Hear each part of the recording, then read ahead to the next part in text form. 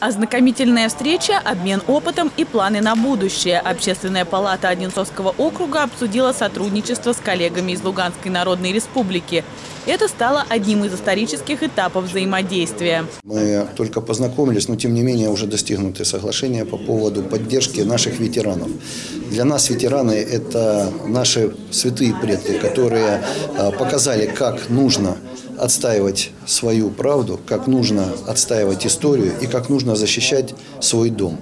Поэтому они заслужили право сегодня не нуждаться абсолютно ни в чем и быть услышанным. Пока намечены основные направления, по которым общественники продолжат работать.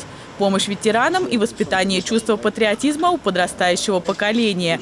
Также обсудили социальное предпринимательство и поддержку нуждающихся.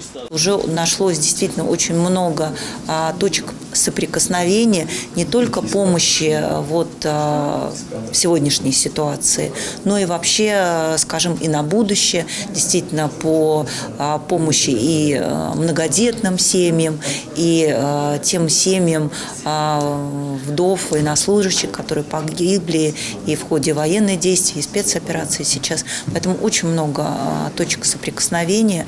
И я на самом деле очень рада и горда, что у нас вот сегодня произошло такое знаменательное событие.